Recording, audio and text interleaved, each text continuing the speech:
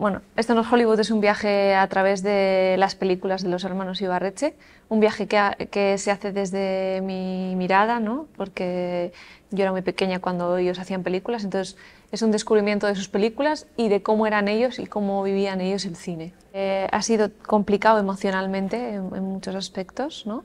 Eh, pero ha sido también muy bonito y, y muy enriquecedor porque pues hemos podido, no solo yo, sino también todo el equipo y gente que hemos, estado cercana a ellos, ¿no? porque en el, en el equipo hemos formado parte eh, gente que ya les conocíamos, ¿no? y entonces pues volver a revivir un poco sus películas como eran ellos, pues ha sido muy bonito. Y, y bueno, hacer un primer largometraje documental pues todo un aprendizaje, también ha sido entre las dos. Yo creo que...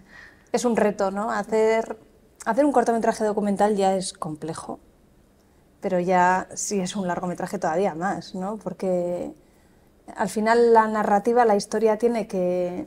O sea, se tiene que sostener durante una hora y cuarto, ¿no? Y eso era, era muy complicado y creemos que lo hemos conseguido, ¿no? Y estamos contentas.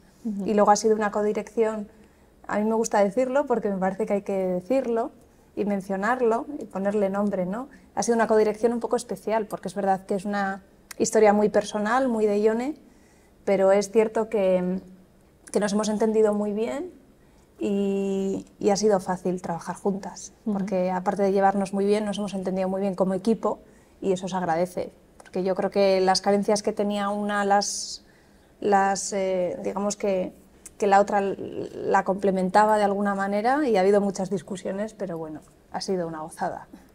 Yo diría que hay que confiar mucho en lo que uno cree, cómo lo quiere hacer y en uno mismo, ¿no? Que en el proceso es difícil mantener esa creencia y ese, pues eso, ¿no? Que, y sobre todo en un documental que, que también eh, son procesos largos, bueno, también ficción puede ser proceso largo, pero documental suele ser un proceso más largo, pues eh, pues no perder la confianza en uno mismo, en el proyecto que estás haciendo y, tirar para adelante. Yo creo que eso para mí ha sido lo, lo, más, lo que más he aprendido. Sí, estoy de acuerdo.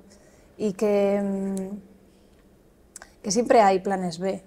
O sea, que, que a veces quizá em, piensas que algo va a funcionar y luego el montaje no funciona y te desesperas y dices, ay, por favor, ¿qué vamos a hacer ahora?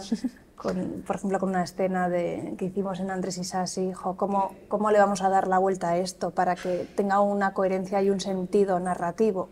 Y luego al final consigues, consigues. Eh, hay que ser muy constante, eh, tener muchísima paciencia y, confiar en tu equipo, ¿no? que, que, está ahí contigo. O sea, yo creo que eso es lo más importante, lo que hemos aprendido. ¿no? Sí, pero mucho más, ¿no? Pero unos de los aprendizajes han sido eso. Sí.